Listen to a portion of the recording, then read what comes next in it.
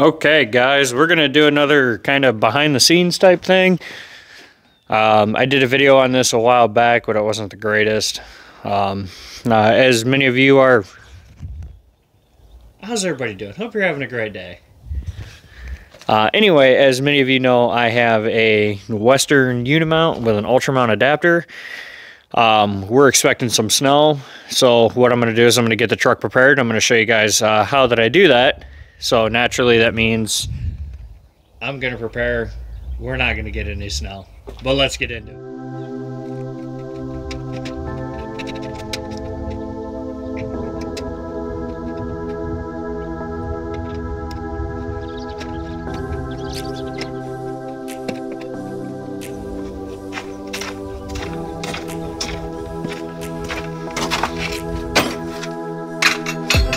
Ways that I have found to mount and dismount this thing uh, after screwing up a lot last year. Uh, if you look, let me move you over. If you look, I'm not all the way in yet. I'm not in all the way in here. Um, and also, if you use the uh, if you use the factory uh, Unimount foot this thing up, which you're going to have to do anyway to keep the uh, the mast here upright, um, it actually sets the plow down pretty low. Um, I'll show you guys. I have blocks of wood underneath the uh, snowshoes. But keeping it down low like that, what I'm going to have to do, um, because the front of my truck is actually kind of low too, um, I have the scissor jack here that I'll put underneath uh, for your spare tire. And what I'll do is, you guys can't see it, but I have the jack here underneath this beam in the middle. And we're going to zoom in on this part right here. And as I lift it up, you'll notice it changes the angle, which is perfect. That's what we want.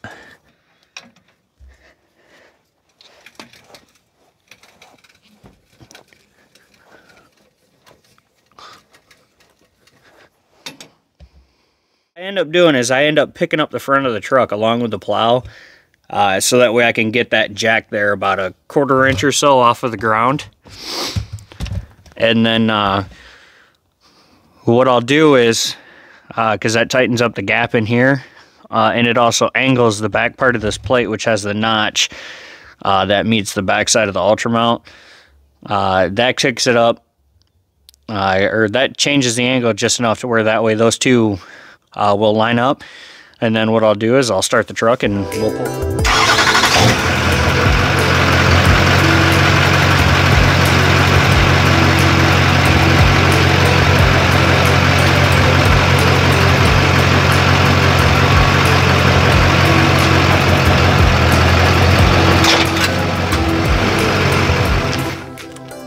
Okay, so usually you're not supposed to push it off of the scissor jack like that, but it happened, so um, our holes did line up, which is good, but I still have to jack the thing up so that way I can get the foot out of there. So we're gonna go ahead and do that. I'm just gonna put you on time lapse.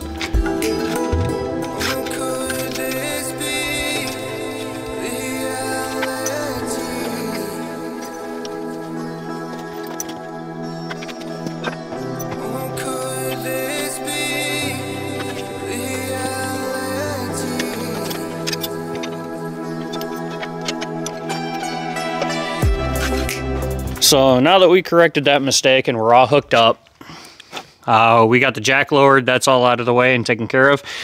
Uh, in the time lapse there, you'll notice I opted out of uh, hooking up the electrical connectors. Um, they got they, they get beat up in between storms um, or events.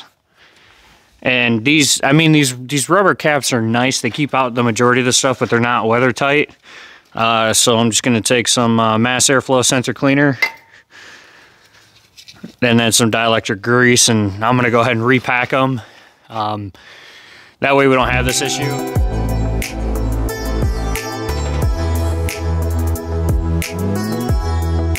That's pretty much it as far as the plow side goes, uh, hooking it up. That's the easiest way that I've seen to do this or have performed doing it.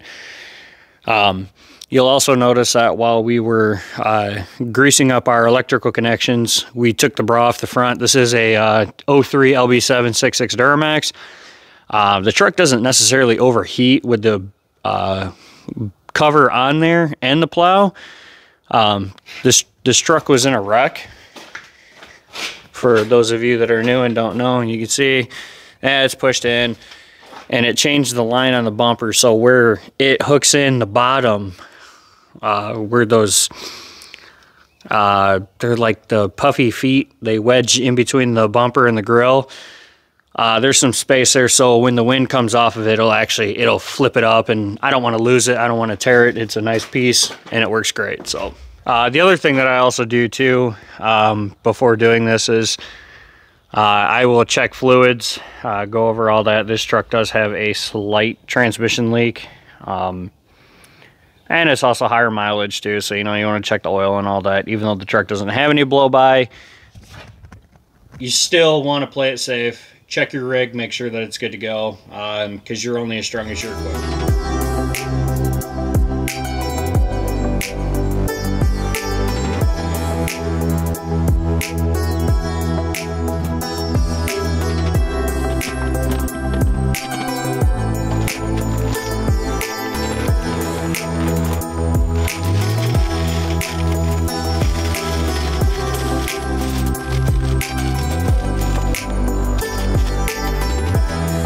To wrap up a couple things on the truck too.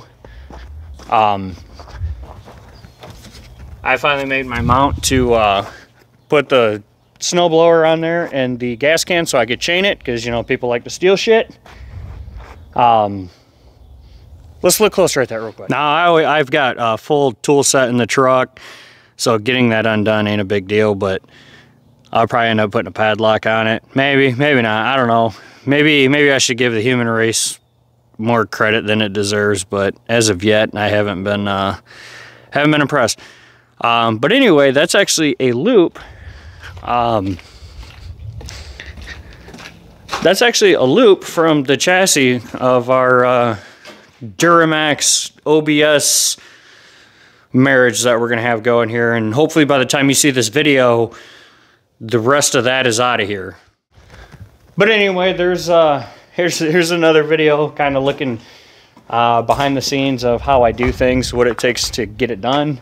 Um, like I said, it was really nice to be able to hit more on how I get my Ultramount uh, Unimount adapter to uh, to work. It, it, it, works pretty good. I mean, it's it's never going to be as fast as hooking up an Ultramount or anything like that, but for what it is, um, I, I, one person can do it rather than you know two people wrestling with a a Unimount. I know some of the some of the hardcore plow guys are gonna, oh, I've been doing it, like whatever. I'm not in it to break my back. Before you guys go, if you could let me know, what do you think about the the videos of doing behind the scenes? Um, this is obviously after the fact. We, as you can see, we're getting some snow. Uh, hopefully, I'll be able to get a uh, plowing video up for you guys. Um, I've picked up a few more places that I'm doing, so time isn't really on my side to make a video, but I am heading out today with my camera bag after work, so it'll probably be a nighttime video, which I have no idea how good that's going to turn out. So, anyway, you guys know what to do. I appreciate all the love and support as always. Take care. God bless. Be good to one another. We'll see you on the next one, guys. Take care.